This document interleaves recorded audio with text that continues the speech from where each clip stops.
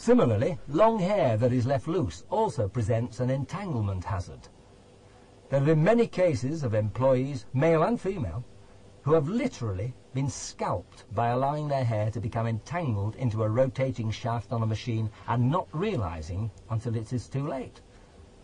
So for safety's sake, tie up long hair and preferably contain it completely with an especially designed snood or hairnet. It would be impossible to have a machine shop without having certain types of cutting tools present to be used to form and cut materials into the required end products. Cutting tools, by definition, are sharp and present an inherent hazard in any machining area. They remain a risk when in and out of use, so it is wise to treat them with respect at all times.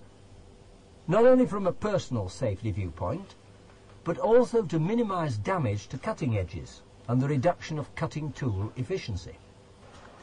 Make sure that when any cutting tool is in use, that a proper guard is placed such that it prevents any person from becoming injured, either by coming into contact with the tool cutting edge and risking serious cuts, or being drawn into the cutting action of the tool, which would probably result in even more serious injuries.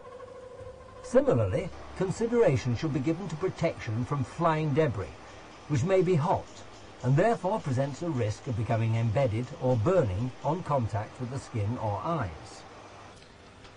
Another form of cutting tool is the grinding wheel, which can inflict particularly nasty injuries to the human body because the flesh is actually ground away, making healing that much more difficult. The rules, therefore, are the same as for other cutting tools. Wear the proper protective devices and ensure that you enclose the grinding wheel when it is in use. And be particularly careful when it's not in use, as a wheel revolving at high speed very often looks as if it is stationary.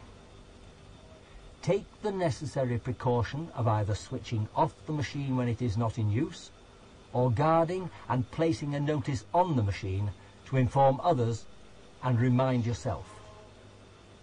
Some grinding machines are impossible to guard completely because of the practicalities of carrying out the work on them.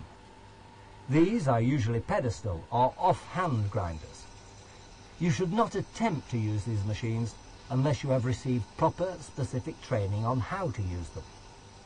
There are many techniques that must be demonstrated to you in order for you to appreciate the particular risks associated with this type of machine. Before we leave the dangers of cutting tools, a word about removing work or inspecting it during the machining operation. It very often happens that the machine spindle or moving slide needs time to slow to a stop when you switch off the process. This is a particularly risky time, as the tendency is for many people to use the stopping time to remove the guard and approach the workpiece, ready to carry out the next operation before or as the machine comes to a halt. This is an extremely dangerous thing to do and very bad practice, as it leads to complacency and inevitably, on many occasions, accidents. You should at all times wait for the machine to come to a complete standstill before attempting to remove the guard. And always ensure that the cutting edge is sufficiently far away from your hands to minimize the risk of injury when handling the workpiece.